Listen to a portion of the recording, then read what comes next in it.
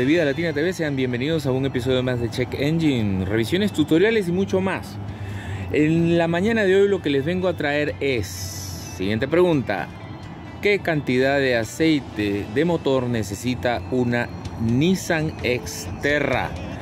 de la segunda generación. Recordemos que básicamente han habido dos generaciones en esta camioneta. Una que venía con un motor de, bueno, la época en la que llegaba el, motor de cuatro cilindros el primer 6 cilindros de 3.3 litros y esta segunda que viene con un motor de 4 litros. Entonces la pregunta es, ¿qué cantidad de aceite de motor necesita una Nissan Xterra con motor de 4 litros V6? Es decir, estamos hablando del BQ40DE.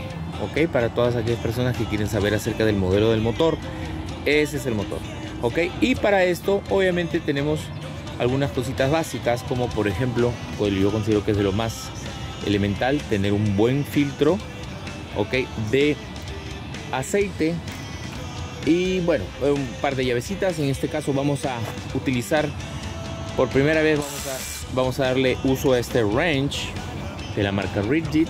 Vamos a ver qué tan cómodo es.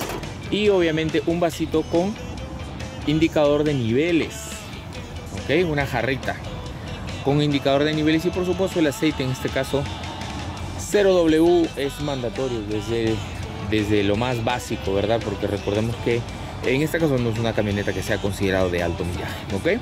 Entonces vamos 0W30 multigrado y pues vamos a ver qué cantidad de aceite entra en este motor.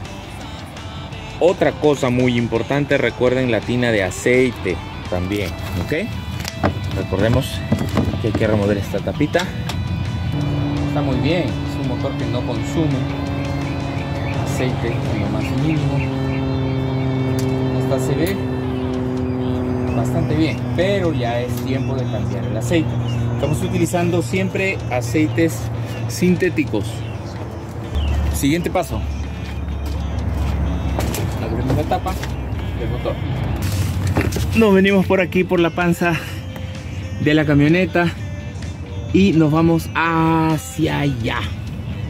Recordemos hacia allá está verdad la transmisión allá todo. Motor longitudinal ok eso es importantísimo.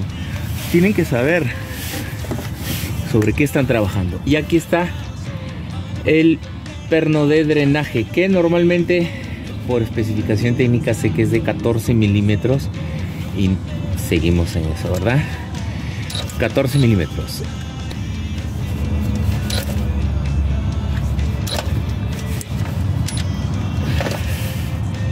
Estamos intentando quitar el perno con esta llavecita, pero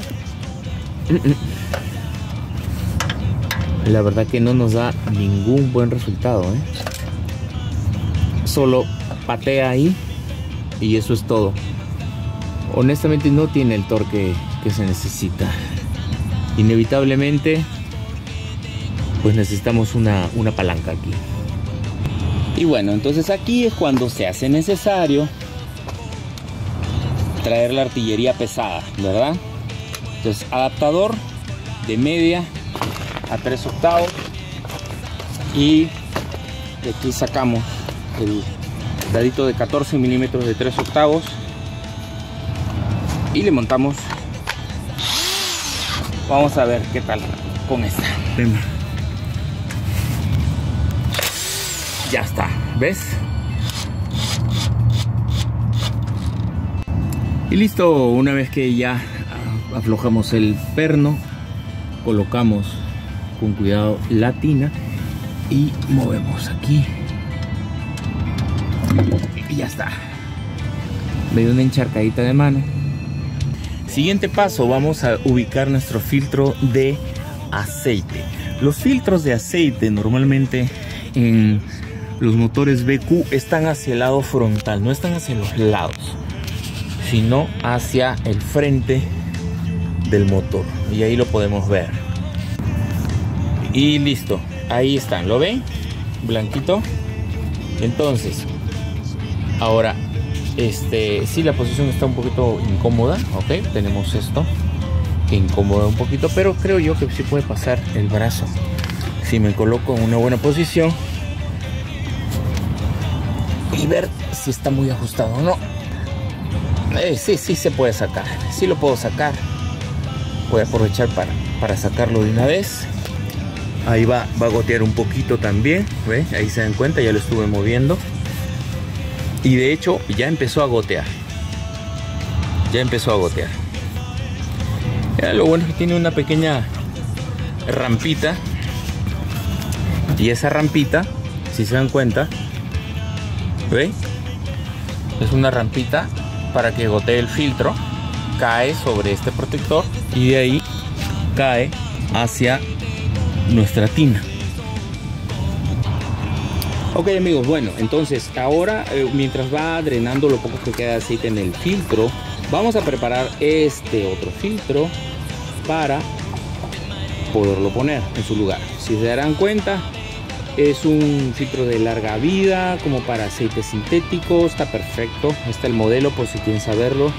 En marca STP es el S7317XL.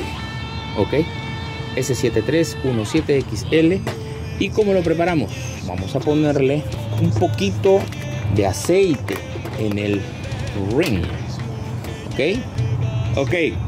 Entonces lo que hacemos, ya lo tenemos acá, ya abrimos aquí. Con el dedo solamente mojamos un poquito de aceite del nuevo por supuesto y le ponemos aquí al ring es un rubber ring ahí se pueden dar cuenta cómo queda luego de haber sido retirado el filtro de aceite. Y ahora vamos a limpiarlo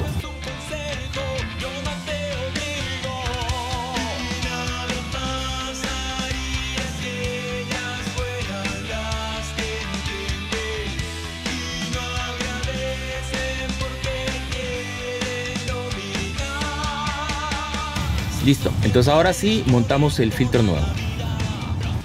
Y ahora sí con el filtro nuevo que ya lo hemos preparado como para poderlo insertar. Ok. y de ahí es muy fácil. Ahora sí con mano seca vamos a apretarlo. Ok. Vamos a ver. O la presión de la mano realmente no, no es que tengamos que ponerlo con alguna herramienta en particular. Ya está, con que vaya ahí suficiente. Ahí quedó. Ya está, ahí está, con eso es suficiente. Ok, entonces ahora sí estamos en la parte final, cerrando todo para poder echar el aceite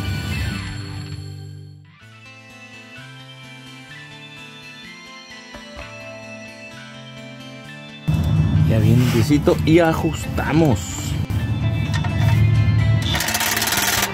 Listo. Eso es todo. Y ya está. No necesita más ¿eh? listo ahora sí vamos a empezar con el tema del aceite. Vamos a vaciar aquí. Asegúrense que la jarrita que vayan a utilizar esté limpia. Y nos vamos por vamos a ponerlo en litros y agua hago la conversión ok litro y medio. Vamos a poner primero dos litros ok dos litros. Y colocamos. Y colocamos.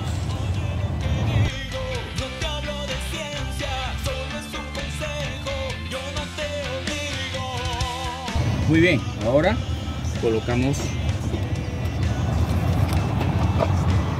nuevamente.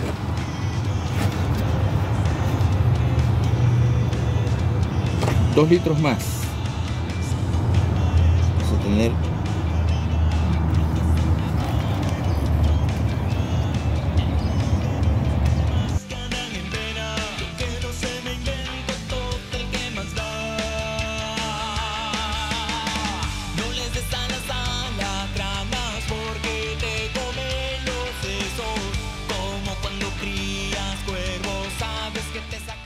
Entonces vamos a agregarle un litro más. Y ahora sí empezamos a medir. Obvio, sabemos que les va a entrar más aceite, solamente que hay que ir con precaución para no excedernos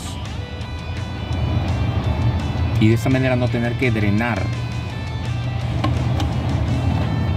abajo nuevamente. Imagínense tener que hacer prácticamente trabajo doble, no. Entonces vamos con cuidado a partir de ahora. Es decir, ya tiene un poquito más de una galonera completa, es decir, tiene 5 litros de aceite. Ok amigos, bueno, entonces ahora sí vamos a medir nuevamente nuestro nivel de aceite. Ahí más o menos vemos. Y sí, ahí estamos, llegando ya prácticamente a la marca del full. Que bueno, por donde está el hoyito. ¿Verdad? Perfecto, vamos a limpiar y vamos a corroborar la información. Lo que sucede es que también este aceite está muy transparente, entonces es difícil de verlo a través de la pantalla porque eh, se ve al brillo, ¿verdad? Al brillo Como así, vemos y sí, ahí estamos. Ya está, exactito. Ni uno más ni uno menos. Amigos, le entra exactamente 5 litros de aceite de motor. 5 litros. En otras palabras, está entrando 5 cuartos y un poquito más. Como quien dice, un cachito. Porque no creo que ni siquiera un octavo. Un octavo, si le echamos 5 cuartos más un octavo nos vamos a exceder. Entonces, por eso digo, vayan con muchísimo cuidado. Aquí nos está sorprendiendo porque en, otros, en, otras, en otros videos eh, hemos estado viendo que otras cantidades traen, como por ejemplo los, el 3.7 eh, del Infinity, que es 6 cilindros también, el BQ37BHR y en 8 cilindros 5 litros que es el BK50BE entonces aguas con eso. No hay que desesperarse con el tema del, del aceite.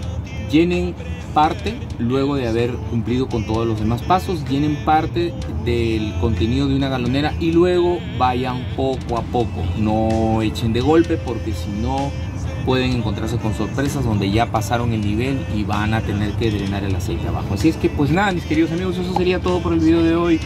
Check Engine, revisiones tutoriales y mucho más. Ya saben, no olviden de suscribirse, compartir, darle like y dejar sus comentarios al respecto si usted tiene uno de estos increíbles motores. Puede ser en una Frontier, por supuesto, con quien comparten motor o también pues con esta tremenda Nissan Xterra, ¿ok? 4 litros V6, tremendo motor, 261 caballos de fuerza, un torque fenomenal también, así es que pues nada, eso es todo, nos vemos en otro video más de Check Engine, revisiones tutoriales y mucho más, hasta pronto.